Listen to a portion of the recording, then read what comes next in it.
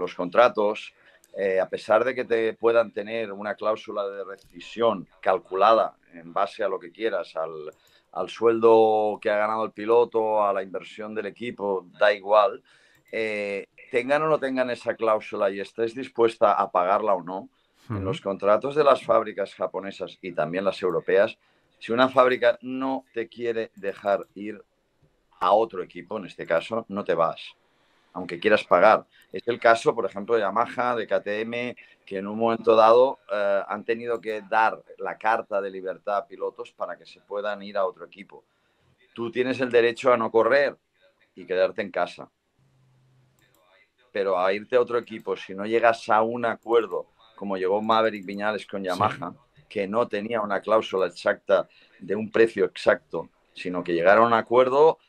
Entonces, mi opinión, y voy al grano para no enrollarme, que es lo mío, es, creo que Mark simplemente está desgastando a Honda para que se den cuenta que no le están pudiendo dar una solución que él necesita, por lo que todos sabemos, porque él quiere ir a por la novena y a por la décima, y necesita la moto que le, que le dé y no tiene el tiempo ni la paciencia ni la motivación para seguir trabajando en esta moto, que igual esta moto tiene un recorrido, pero él no tiene el tiempo.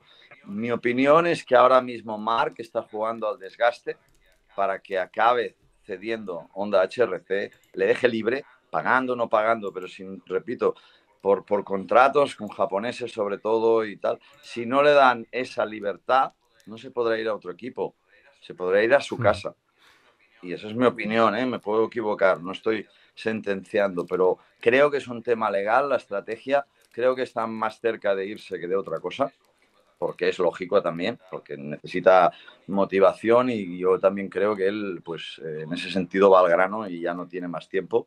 Y a partir de aquí, pues veremos si le sale bien. Tiene una suerte, que tiene apoyo directo y claro de Alberto Puig. Y todo lo que hablamos nosotros, los japoneses, no les llega porque los japoneses están en su mundo, pero su intercomunicador con Japón es Alberto, y Alberto estamos más por la labor de em, ayudarle a buscar una salida, insisto, no es información, en mi opinión, que otra cosa. Hasta aquí mi opinión. Yo ya luego, como acaba, ni idea. ¿eh? A ver, un par de cosas. Lo primero, Borja, eh, que no estás ahora mismo en directo porque se, te ha colgado la llamada y ahora me apareces boca abajo. Cuelga y vuelve a llamar y te meto en el directo, ¿vale? Porque si no vas a aparecer eh, boca abajo y no, no queda bonito. Dicho esto, y mientras Borja se reincorpora, y Zaskun. Dos cosas. Primero, quiero saber tu opinión, evidentemente, porque tú además hablaste con Mark ayer. Eh, justo después de, la carrera o poco después de la carrera. Y luego otro apunte que yo creo que es un poco de sentido común también, ¿no?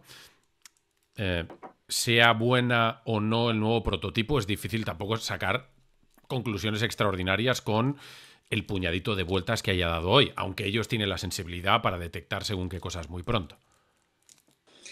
Eh, sí, en un formato test es imposible solo con, eh, con las vueltas que han dado por la mañana sacar conclusiones, pero incluso en una jornada de test es imposible sacar conclusiones. Ya de salida todos te dicen, seguro que mañana rodaremos más rápido porque la pista tendrá más goma, porque todos iremos mejor.